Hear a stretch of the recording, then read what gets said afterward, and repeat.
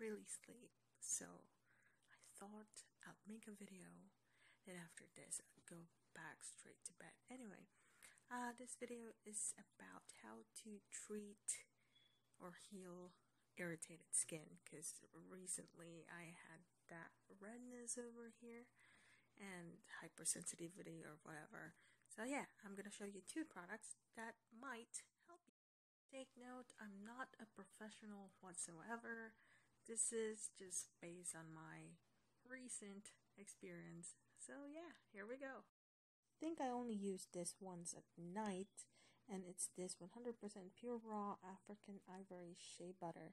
And as you can see, it has so many different uses if I can just make it focus. There you go. So the only ingredient is 100% pure and organic virgin cold pressed raw unrefined premium grade ivory shea butter Cold press is good because it preserves the good stuff. Benefits is moisturizing, restorative, rich in vitamins A, D, E, F, full of antioxidants and essential fatty acids. So you can use it to condition and soften your hair, skin, helps combat eczema, rashes, sunburns, insect bites, stretch marks, dry, cracked skin, lip scars, and blemishes. I tried it when a mosquito bit me over here and it didn't itch as much and kind of prevented that from like palpitating or whatever because mosquitoes here are weird and this one is important from Ghana so it's 100% organic it looks like this. It's a really big tub and a little bit goes a long way. And I'm actually gonna put some over here. There's a little bit of redness over there and under my nose.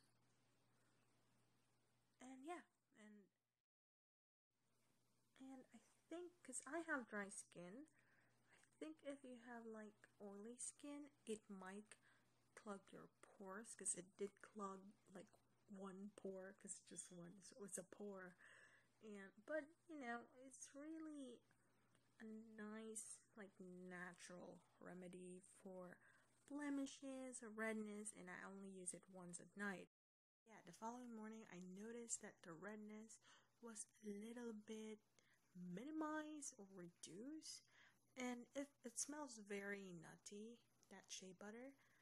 And um, overall, I think its best use would be at night because during the day I applied it. I feel like it's too like oily for me, a little bit heavy, but it's okay if you're just, you know, staying at home or not going out or whatever. And then the next couple of days, like two to three days, I solely use this Nature Republic Aloe Soothing Gel. And I really like this product because I feel like it works like a dream. and you might have seen this during like my episode one of Simple Skincare.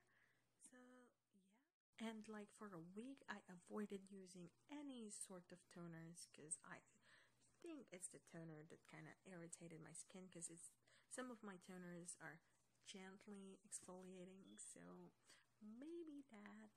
And yeah, uh, that's basically it. Thank you so much for watching, and don't forget to like, comment, and subscribe. I gotta go. I need to go to sleep. Bye.